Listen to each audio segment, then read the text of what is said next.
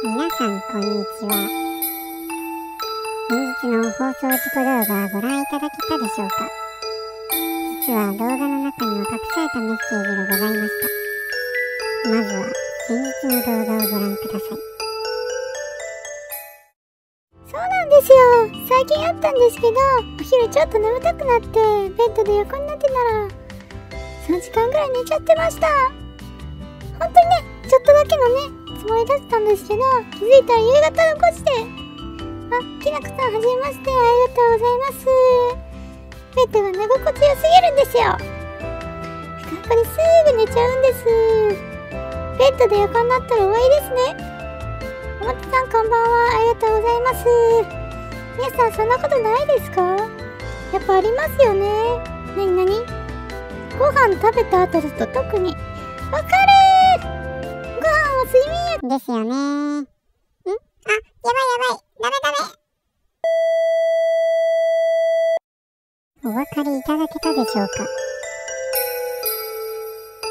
チャットの部分にご注目ください。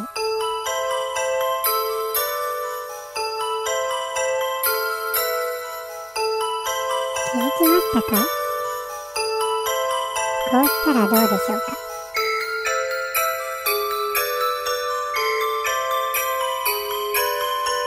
少しわかりやすくしてみましょう。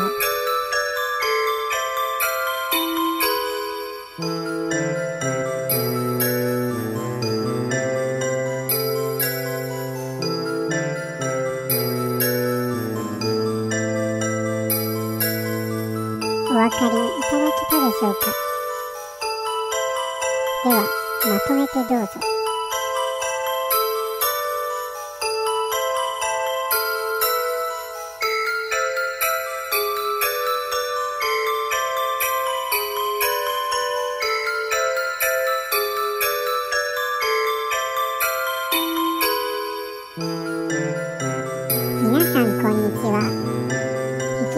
正体はハムスター。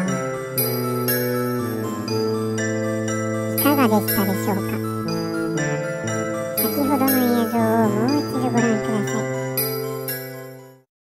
そうなんですよ最近あったんですけどお昼ちょっと眠たくなってベッドで横になってたら3時間ぐらい寝ちゃってました本当にねちょっとだけのねつもりだったんですけど気づいたら夕方の5時であきなこさんはじめましてありがとうございます。ベッドが寝心地良すぎるんですよ。これすぐ寝ちゃうんです。ベッドで横になったら終わりですね。表さんこんばんは。ありがとうございます。